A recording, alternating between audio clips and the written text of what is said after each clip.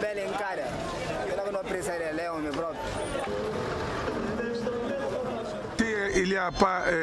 If there's peace and stability, the country will start at once. Even after 40 years of independence to this day, we have no electricity, roads are in a very bad shape, many things. Health, education, we have a lot of problems in Guinea-Bissau.